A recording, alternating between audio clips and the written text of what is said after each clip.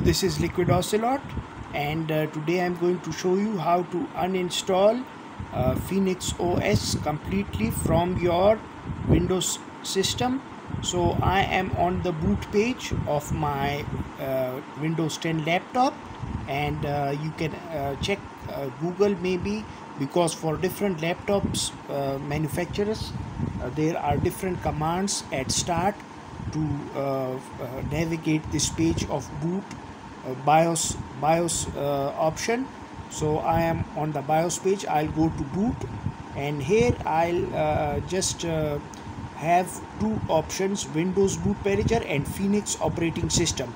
So I just click delete boot option and um, select one uh, the, uh, from the remove an EFI boot.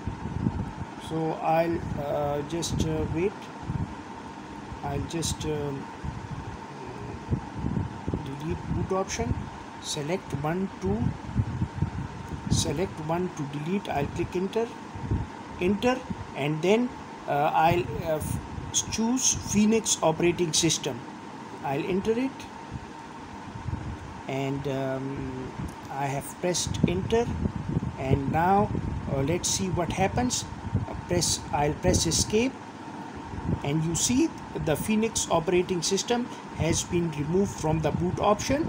And I can safely restart my system without seeing this uh, annoying Phoenix operating system uh, at start of uh, at starting Windows 10 and then you just go and uninstall from control panel like you uninstall all your programs from your control panel. I hope this resolved your issue my friend to how to completely wipe out and delete and uninstall phoenix operating system. Thank you so much for watching. I'll be signing out. Take care